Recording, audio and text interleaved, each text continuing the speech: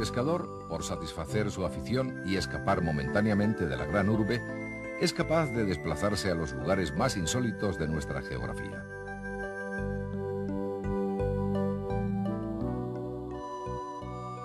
¿Cuántas carreteras como esta habremos recorrido en nuestro afán por encontrar los parajes más recónditos? Aquellos donde practicar la pesca solo sea una parte más que añadir a otros placeres, tales como contemplar la belleza del paisaje o disfrutar del más puro sosiego. ¿Qué mejor lugar que este, el pantano de Santa Ana, para encontrar esos valores tan apreciados por un pescador? Este embalse, enmarcado en las estribaciones de los Pirineos, y rodeado por sus montañas, está situado en la misma frontera entre Aragón y Cataluña, de tal forma que la mitad de sus aguas pertenecen a Huesca y la otra mitad a Lérida.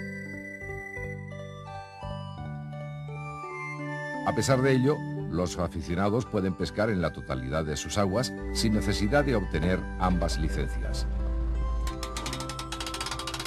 Esta vez, nuestros protagonistas cuentan con la inestimable ayuda de sus sofisticadas barcas para conseguir una buena pesca.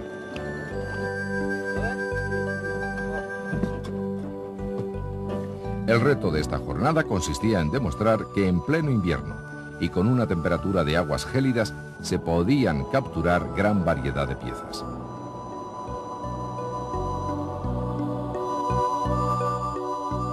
El lucio, el black bass y el lucio perca son los reyes indiscutibles de estas aguas. A ellos dedicarán sus esfuerzos nuestros invitados de hoy, que saben que aunque el día no se muestra demasiado propicio, algún ejemplar irá a parar al bidón de sus barcas. Para conseguirlo cuentan con los últimos adelantos tecnológicos en el campo de la pesca. Las embarcaciones están equipadas con todo lujo de detalles, a fin de hacer más cómoda y productiva una jornada como esta. Gracias a la sonda, podremos precisar con exactitud el lugar y la profundidad en la que se encuentran los bancos de peces. La sobriedad de este paisaje se ve complementada con lo que queda de su puente romano y un pueblo en ruinas que camuflado entre la roca nos muestra su aspecto más fantasmal.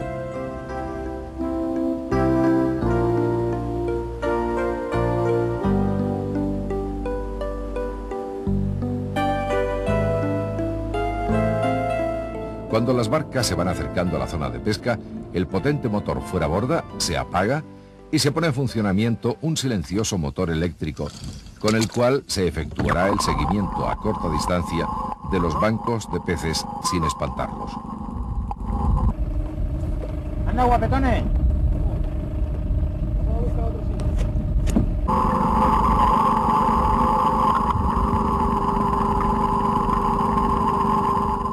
Localizado el sitio más apropiado, ya solo queda preparar las cañas y lanzar cómodamente desde alguno de los sillones giratorios.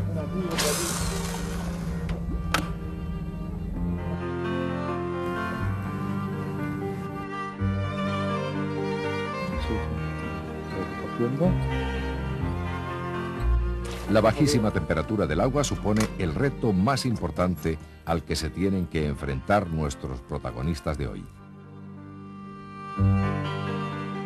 Al estar el agua tan fría en la superficie, los peces permanecen casi inactivos en el fondo, despreocupándose incluso por su alimentación.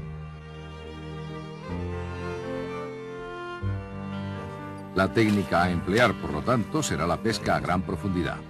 Y en cuanto al señuelo, el tiempo nos dirá por cuál sienten capricho hoy lucios y bases.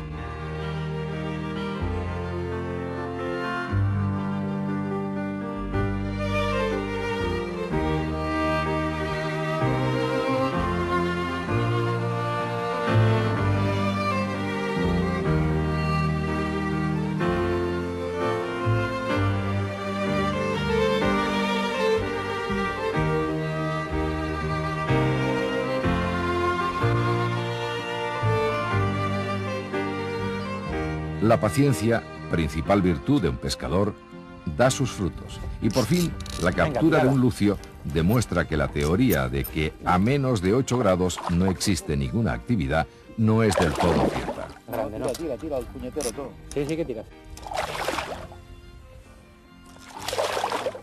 Un par de kilillos, tres kilillos. No, no, no, más hará, ¿no?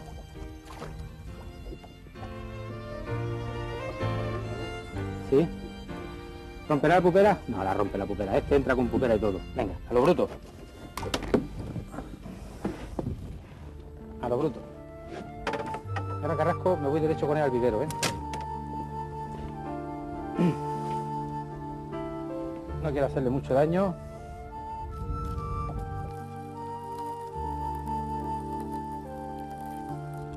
Pues se la ha comido con ganas, ¿eh? Sí, sí. Sí, sí, veo ya. Menos mal que la otra no se la ha clavado, si no se hace polvo la galla ahí. Muy malito.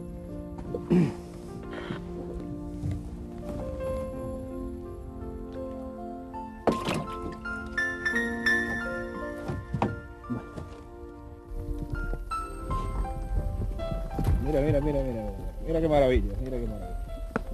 Ya está, ya está aquí, ya está aquí. Por si cupiese alguna duda, otro lucio abandona su letargo y entra al señuelo del pescador mordiéndolo con fuerza.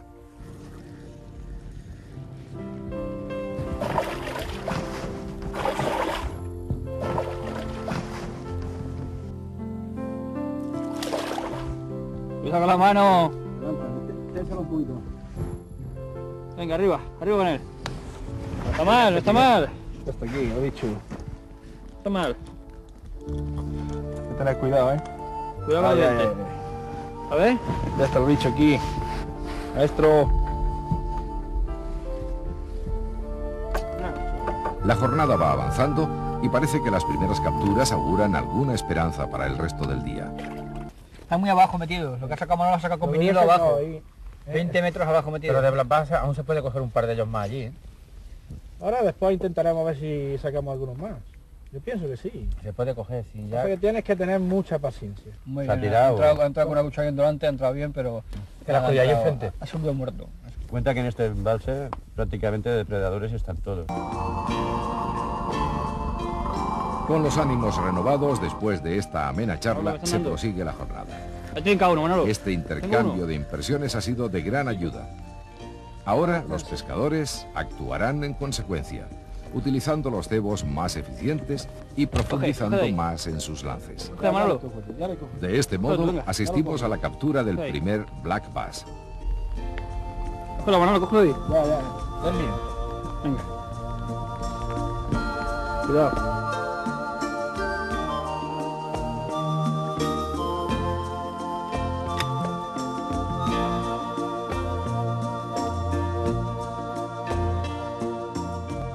No tardó demasiado en picar un lucio perca, una especie introducida en nuestro país clandestinamente que se ha aclimatado a la perfección en nuestras aguas.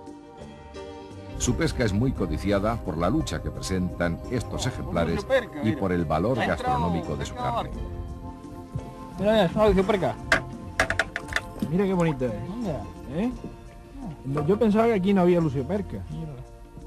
Mira qué dientes. Parece un conejo, ¿eh? Los dos dientes que tiene arriba y abajo. ¿Has visto el moteado que lleva? Precioso. Es una maravilla de pez. Debería de estar en, en más pantanos de aquí de España. Este pez ha tirado hoy poco, porque estamos en invierno y prácticamente está inmóvil en, en este tiempo. Pero sin embargo en primavera y avanzada la primavera es un pez muy muy deportivo y, fuerza, y tiene bastante fuerza. Si va en grupos, además es divertido de pescar. Es cierto. Solo el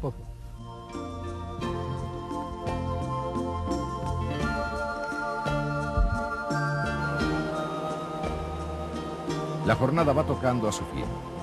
A pesar de las pésimas expectativas con las que se afrontó el comienzo del día, nos podemos sentir muy satisfechos por haber conseguido extraer algunas piezas de estas gélidas aguas del deshielo pirenaico. No obstante, superado el reto, procedemos a liberar lucio y black basses, que sin duda no tardarán en volver a su inactividad, esperando los días más calurosos para salir a la superficie. many tears.